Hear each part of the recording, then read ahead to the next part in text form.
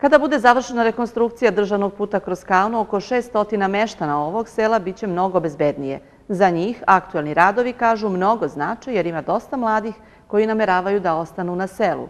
Postavljanju horizontalne signalizacije pored škole i džaci će biti bezbedniji. Škola je na jakom nezgodnom mestu, to je se nešto ovaj, učinilo sa znacima, verovatno ležeći policajci, eh, da molimo Boga za ovih koliko godina nije se desilo ništa, ali iz mera predostrožnosti da se to uradi baš onako kako treba, evropski. Uz zahvalnost opštinskoj upravi Lučana i predsjednici opštine na čiju inicijativu su započeti radovi, predsjednik mesne zajednice Kaona naglašava da je na deonici puta koji se asfaltira izuzetno velika frekvencija saobraćaja, naročito u oči i u toku sabora trubača. Put će dobiti novo lice posle nekoliko decenija kada je posljednji put rekonstruisan.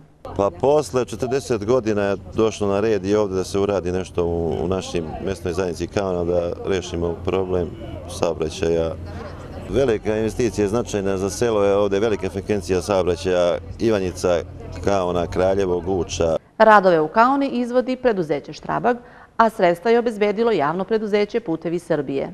Opština Lučani, veliko gradilište, radi se puno, radit ćemo još, vremenski uslovi nam idu na ruku, svaki slobodan trenutak i sve što budemo mogli da se završi na popravci puteva, radit ćemo. Predsjednica opštine posjeća da je nedavno u okviru velikih infrastrukturnih radova završena rekonstrukcija saobraćajnice Potajnik u dužini od 300 metara, odnosno putnog pravca koji vodi prema manastiru Sretenje.